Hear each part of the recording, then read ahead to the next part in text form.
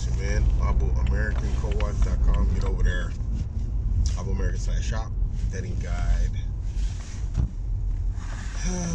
Pollution's household. All sorts of other stuff. Get over and check it out. So, you know, I'm just, I have to go through this whole security thing every day. I just came to a realization. It's like, you know, there's this, there's this whole behavior of people who receive authority. And I'm not I'm not crapping on the security guys here. They're, they're good stuff. But I, it's just something I noticed in general. And it's like a lot of people when you put security in place, they automatically just comply. Why is this thing wiggling around so much? Um, they automatically just comply in a way which is not required. And um, you know, something clicked just all of a sudden. Just I've always had this resistance to authority, not just from an art, you know, uh, anarchist type of position, like you know, oh, it's authority, resist. No, it's just like something. I'll give you an example from Germany. In Germany, people love to say no. Germans love to tell you no. Anybody who lives in Germany will tell you. But German gets a chance to say no. He has an option to say yes, or he has an option to say no both of them are have results which are inconsequential to him.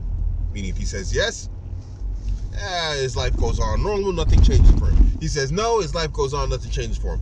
He'll say no out of principle because they just have the authority to say no.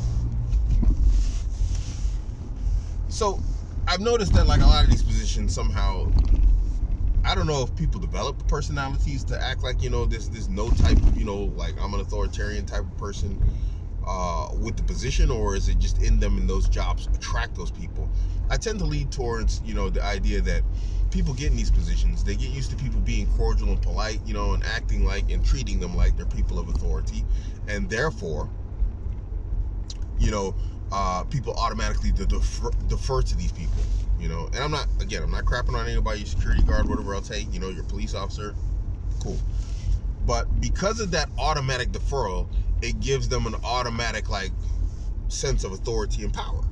That whether real or not, whether it should be there or not, is you know a different discussion.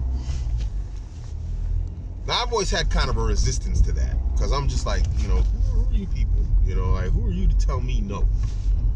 And so even when it comes to Germans and they tell me no, I never accept no as an answer, which is the point of this video. It's like, you know, be, and I heard this recently, and this would cause the click, was be more disagreeable, you know?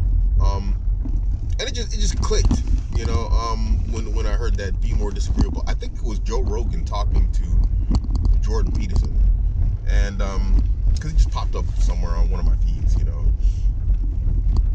And, um, yeah, just just you know, really claim like I don't want to sound goofy, but it sounds goofy. I'm just gonna say it. Just claim your power, man. It's like don't let you know walk around this earth. Don't walk around the earth like you own it. Walk around the earth like it doesn't own you. You know, because we need more of that you know, we, we see this right now with all these, you know, compliance rules and everybody expecting you to comply and act in a certain way and do this and do that and take this and take that because we say so. And there's really nothing they can do if you say no. Not really. You know, if you just, if you move with authority, there's nothing they can do. I'll give you an example. I worked in Qatar. I worked at a school. And the school was a compound, was in a compound. Obviously, there's kids there. And so, you know, they protected the compound. It had security and I used to go out for lunch. And so when I was going outside of the compound for lunch, the security guard was like, "You can't leave." I was like, "What?" I was like, "Yeah, yeah, teachers can't leave." What are you talking about? I said, "I'm an adult. You know, I'm a teacher. This is my job. It's not a prison. I'm going to get some food." No, no, you have to. You have to stay here. You have to bring your food, or you have to eat in the cafeteria. I was like, I was like, "Who's gonna stop me if I just walk out this gate?" I said, "You think you're gonna stop me?" I just kind of walked up on him like, what are you going to do? He was like, okay, sir, then I must report it. I said, report it to who you want. I said, call him right now. I said, get on your little microphone, call whoever you need to call right now. Go ahead, call him. Of course, he didn't. And maybe it was the school policy. But it's just like, you know, and I've, I've noticed that I've dealt with like this type of behavior from people in these positions you know? Again not crapping on them but it's just been a consistent thing. And the only reason why they pull this stuff is because they get away with it because nobody calls them on it. You know we want to talk about masculinity man. Just be more disagreeable.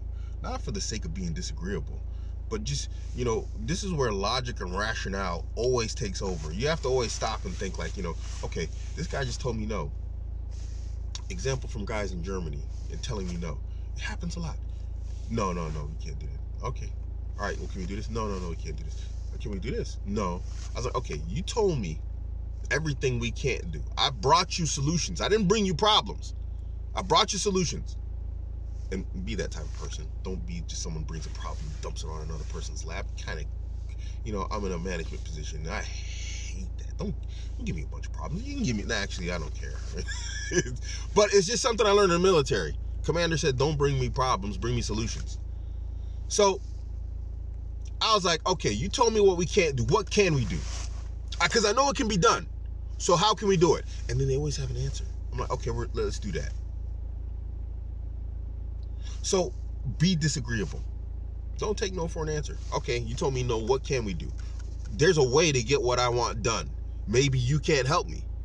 And if they want to be, you know, even imply that they're incompetent if they're just being resistant. Because some people just resist just because they're in a position to resist. And so imply incompetence. Say, okay, well, maybe you just don't know what to do. Maybe you don't have the competency. Who do I go to? Do you have a boss? Do you have a colleague who knows how to do something that you don't know how to do? You know, put it back on their plate but just be more disagreeable in general. You know, it, it, believe it or not, it makes the world a better place. anyway, I don't. There's no real point to this, but it is part of like masculinity to be more disagreeable. I'm not saying be a jerk, but you know, don't let people get away with being jerks.